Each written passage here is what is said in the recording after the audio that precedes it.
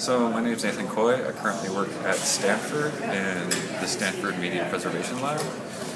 And what I think is really good about ARSC right now is that there's a lot of energy coming into it, and there's a combination of the folks that have been in it for 30 or 40 years that are starting to openly communicate with the younger people, and there's starting to be a conversation of like new energy and experience in digital technology combined with years of experience in anecdotal um, information about what's worked over time, and all of that's coming together right now in a very, very uh, good time for the organization, I think. And so having the opportunity to sort of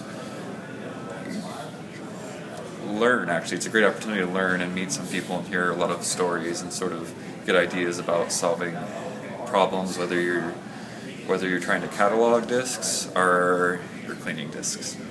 Thanks.